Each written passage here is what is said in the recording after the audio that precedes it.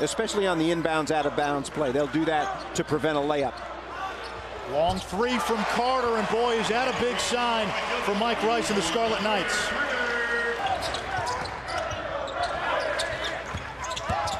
Carter drives the floater, and he's got five early for Rutgers. That was contested big time by Porter and Hopkins, and he made it anyway. Sloppy play there. Dane Miller ahead of the pack, and he gets the easy two. Four now for Miller, who had been struggling to score coming into this contest. Starks lost it.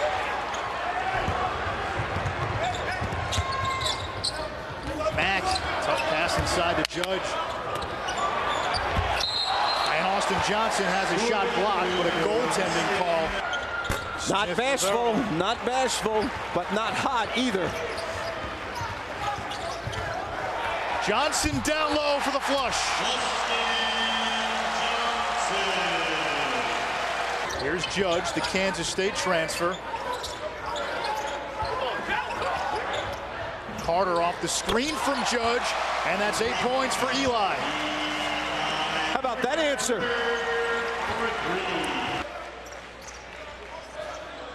Eli Carter's got eight for Rutgers. And one. He got Starks in the air, and he draws the foul.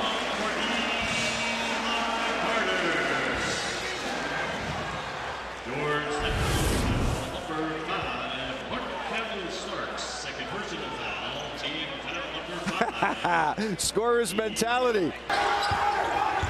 Remember they had Henry Sims last year, best passing big man in the country last year, led their team in assists. Carter feeling it. That's a three-point field goal. Carter, Carter. Seagears the long three, and Rutgers back to even. It's contagious. Jerami Grant stepping in for James Southerland. Tom Knight and Cam Biedscheid playing better for Notre Dame. Eight unanswered now for Rutgers. They've got a two-point lead. Here's Dane Miller. He's got two fouls. Leaves it. And a soft touch by Mike Poole, the junior from Rosedale, New York.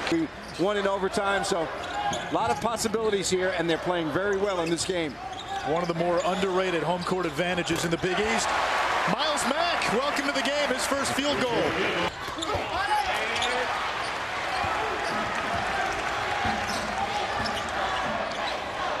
Mack, the deep three, he gets it to go.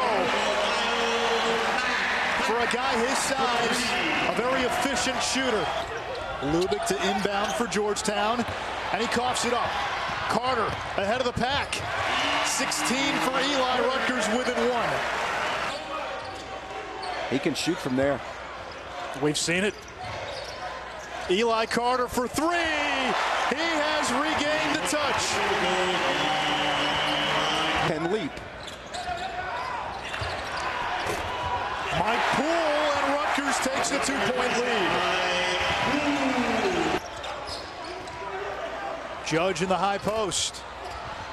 And the tip there by Poole.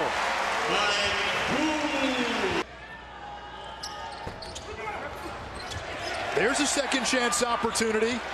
And now Mack lines it up. We're tied. Make it Rutgers by one. He thought about it.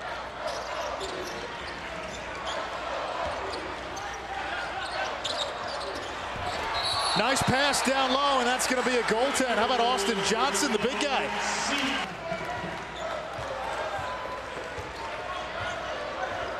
Rutgers can get a shot here. Seagears. That goes. Comfort level way high against zone for Rutgers with the three-guard lineup. One minute remaining in the second half. Eli Carter. The sapling over the Sequoias.